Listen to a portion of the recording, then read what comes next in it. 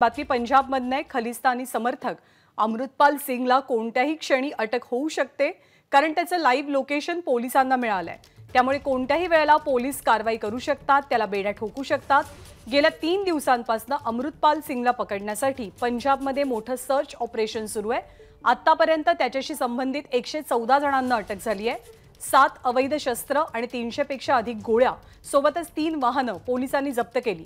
पंजाब सरकारनं अमृतपाल सिंगच्या विरोधात सुरू केलेल्या कारवाईच्या पार्श्वभूमीवर राज्याच्या राज्याला लागूनच असलेल्या हरियाणा आणि हिमाचल प्रदेश या सीमांवरती सुद्धा सुरक्षा वाढवली जाते. पंजाब सरकारनं राज्यातली इंटरनेट सेवा आज दुपारी बारा वाजेपर्यंत बंद ठेवण्याचा निर्णय घेतला होता.